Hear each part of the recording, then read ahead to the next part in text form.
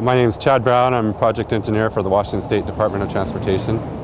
This project is a project to repair the trestle on westbound US 2. The westbound US 2 trestle is aging and the concrete girders are in need of repair. So right now we're looking at a girder that has significant repair needed. You can see the rebar has been exposed. These are the type of repairs that we'll be doing. We'll go in and chip out the concrete around the rebar that you can see there that's all rusted.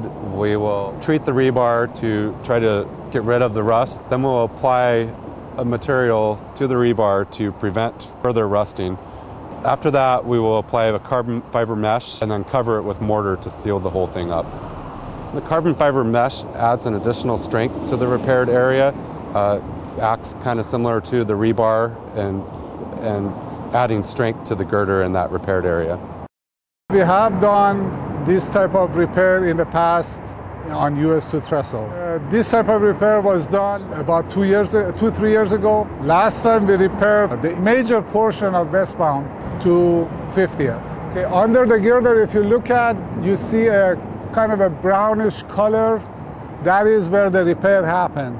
The paint is just cosmetic for showing that the repair is done and it looks, looks nice. Uh, during construction, most of the work will occur underneath the bridge, so it will not be visible to the public. We do have 65 nighttime closures to do some of the repair work on the westbound trestle.